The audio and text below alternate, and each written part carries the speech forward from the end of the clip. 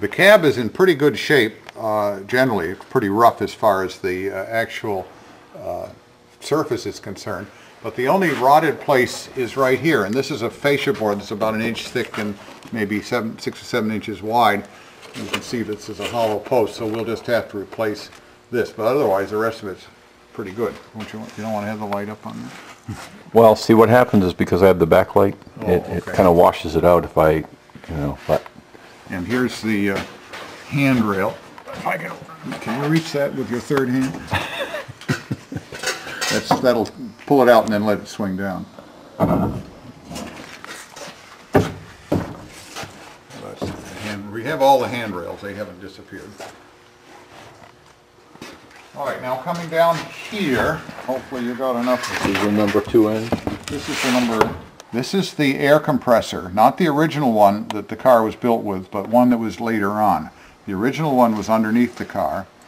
Notice the GE logo on that. It's an air compressor. It says uh, General Electric Company. It's called a CP30, which means it put out 30 cubic feet per, per minute. Quite a, uh, quite a good size one. And we ran it the other day. We know it works. Uh, we didn't run it under any load, and I, as I recall, it had kind of a rap in it, but you can't tell when it was just running loose.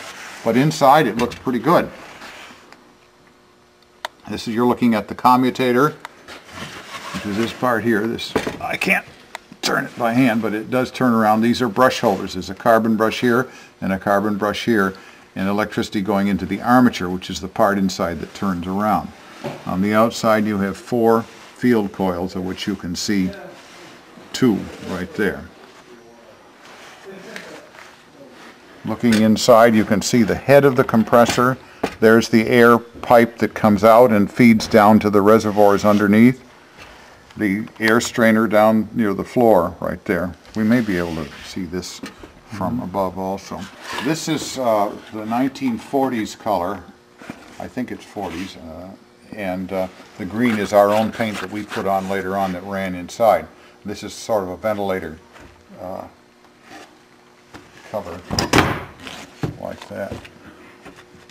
What we're looking at here is a slack adjuster, not totally different from what you would have on an automobile uh, brake system.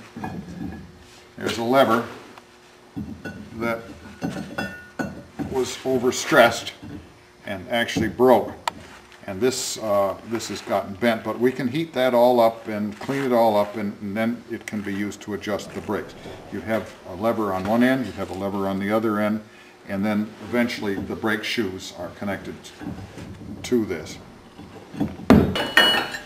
Brace, this is the one from the number one end, which is the same as what's down there.